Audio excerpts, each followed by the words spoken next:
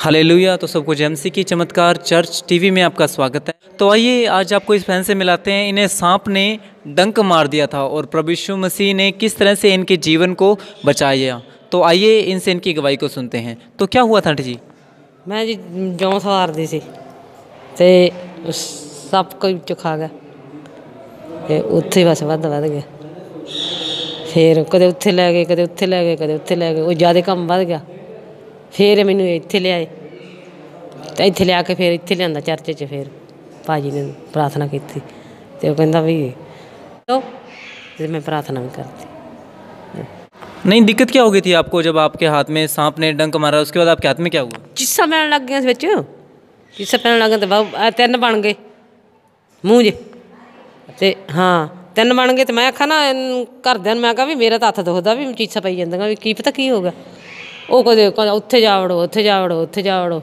ਐਂ ਕਰਦੇ ਕਰਦੇ ਤੇ ਕੰਮ ਜ਼ਿਆਦਾ ਵਧਾ ਲਿਆ। ਤੇ ਮੁੜ ਕੇ ਉੱਥੇ ਰਾਵਲੇ ਜਾ ਵੜੇ, ਰਾਵਲੇ ਫੇਰ ਉੱਥੇ ਤਾਂ ਜਮਾ ਹੀ ਕੰਮ ਠੱਪੀ ਹੋ ਗਿਆ।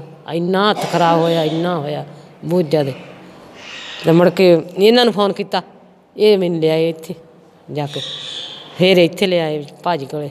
ਫਿਰ ਉਹਨੇ ਪ੍ਰਾਰਥਨਾ ਕਰੀ, ਉਹ ਕਹਿੰਦਾ ਵੀ ਤੁਸੀਂ ਪ੍ਰਾਰਥਨਾ ਵੀ ਮੈਂ ਕਰ ਦਿੰਦਾ ਫਿਰ ਹਾਂ।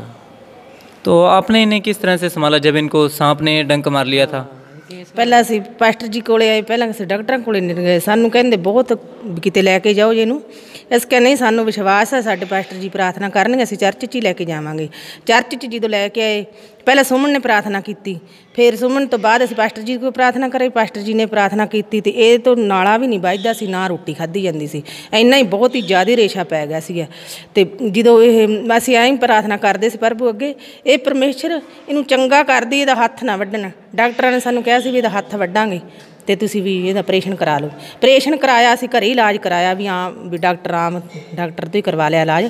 ਉਹਨੇ ਸਹੀ ਕਰਤਾ ਉਸ ਤੋਂ। ਪਾਸਟਰ ਜੀ ਤੋਂ ਪਹਿਲੀ ਪ੍ਰਾਰਥਨਾ ਨੇ ਸਹੀ ਹੋ ਗਈ ਸੀ, ਮੋੜ ਪੈ ਗਿਆ ਸੀ। ਇਹਨਾਂ ਦੇ ਰੇਸ਼ਾ ਬਹੁਤ ਹੀ ਮੇਰੀ ਬੀਬੀ ਦੇ ਰੇਸ਼ਾ ਮੇਰੀ ਸੱਸ ਮਾਂ ਦੀ ਗਵਾਹੀ ਦਿੰਨੀ ਮੈਂ, ਇਹਦੇ ਰੇਸ਼ਾ ਬਹੁਤ ਹੀ ਜ਼ਿਆਦਾ ਪੈ ਗਿਆ ਸੀਗਾ। ਤੇ ਨਾ ਇਹ ਤੋਂ ਰੋਟੀ ਖਾਧੀ ਜਾਂਦੀ ਸੀ, ਨਾ ਇਹ ਤੋਂ ਨਹਾਤਾ ਜਾਂਦਾ ਸੀ। ਤਿੰਨ ਮਹੀਨੇ ਮੈਂ ਹੀ ਇਹਨੂੰ ਨਵਾਇਆ ਤੇ ਤਿੰਨ ਮਹੀਨੇ ਮੇਰੀਆਂ ਗੁੱਡੀਆਂ ਨੇ ਇਹਨੂੰ ਰੋਟੀ ਖਵਾਈ ਆ, ਰੋਟੀ ਖਵਾਉਣ ਦਾ ਤਾਂ ਵੀ ਮੇਰਾ ਨਹੀਂ ਟਾਈਮ ਲੱਗਦਾ ਸੀ। ਰੋਟੀ ਵਿਚਾਰੀਆਂ ਗੁੱਡੀਆਂ ਹੀ ਖਵਾਉਂਦੀਆਂ ਸੀਗੀਆਂ। ਦੋ ਮੇਰੀਆਂ ਗੁੱਡੀਆਂ ਸੀ, ਉਹ ਰੋਟੀ ਇਹਨੂੰ ਹੱਥ ਨੇ ਤੜ ਕੇ ਚੂਰੀ ਕੁੱਟ ਕੇ ਤੇ ਚਮਚੇ ਨਾਲ ਇਹਨੂੰ ਰੋਟੀ ਖਵਾਉਂਦੀਆਂ ਬੱਚਿਆਂ ਤਰ੍ਹਾਂ। ਵੀ ਇਸ ਤਰ੍ਹਾਂ ਕਰਕੇ ਅਸੀਂ ਤਿੰਨ ਮਹੀਨੇ ਨੂੰ ਵੀ ਮੇਰੀ ਸੱਸ ਨੂੰ ਸੰਭਾਲਿਆ ਬਹੁਤ ਹੀ ਜ਼ਿਆਦੇ। ਹੁਣ ਇਹ ਵੀ ਮੁੜ ਕੇ ਵਿਚਾਰੀ ਜਦੋਂ ਠੀਕ ਹੋ ਗਈ, ਫਿਰ ਅਸੀਂ ਮੇਰਾ ਜੇਠ ਰਹਿੰਦਾ ਉੱਥੇ ਤੇ ਉਹਦੇ ਕੋਲੇ ਵੀ ਜਾਵੜੀ ਸੀ। ਫਿਰ ਅਸੀਂ ਚਰਚ 'ਚ, ਪਹਿਲੀ ਵਾਰ ਅਸੀਂ ਚਰਚ 'ਚ ਲੈ ਕੇ ਪਾਸਟਰ ਜੀ ਨੇ ਪ੍ਰਾਰਥਨਾ ਕੀਤੀ ਤੇ ਉਸ ਤੋਂ ਬਾਅਦ ਵੀ ਇਹ ਠੀਕ ਆ, ਹੁਣ ਇਹਨੂੰ ਕੋਈ ਦੁੱਖ ਨਹੀਂ, ਕਿਸੇ ਤਰ੍ਹਾਂ ਦੀ ਇਹਨੂੰ ਕੋਈ ਨਸੀਬਤ ਨਹੀਂ, ਵਧੀਆ ਨਾਲਾ ਬੰਨ ਲੈਂਦੀ ਸੀ, ਵਧੀਆ ਰੋਟੀ ਖਾ ਲੈਂਦੀ ਸੀ, ਖਾਣਾ ਖੁਣਾ ਆਪਦਾ ਖਾ ਲੈਂਦੀ ਸੀ, ਨਹਾ ਵੀ ਲੈਂਦੀ ਵਿਚਾਰੀ।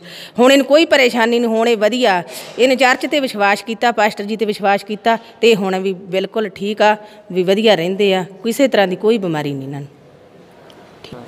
हालेलुया। तो परमेश्वर का सच में धन्यवाद इतनी बड़ी गवाही इन लोगों के जीवनों में दी। तो ये जैसे बहन बता रहे थे कि ये खेत में काम करने के लिए गए तो इनके हाथ पे सांप ने डंक मार दिया था।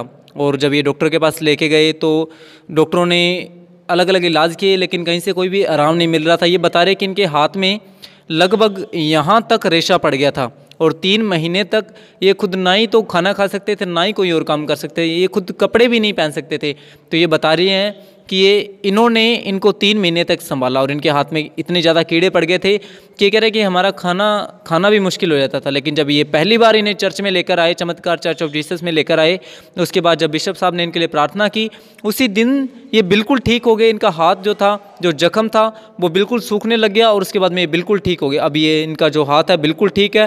अब अच्छे तरीके से अपने सब कामकाज कर लेते हैं, इसलिए परमेश्वर का धन्यवाद हो। हालेलुया।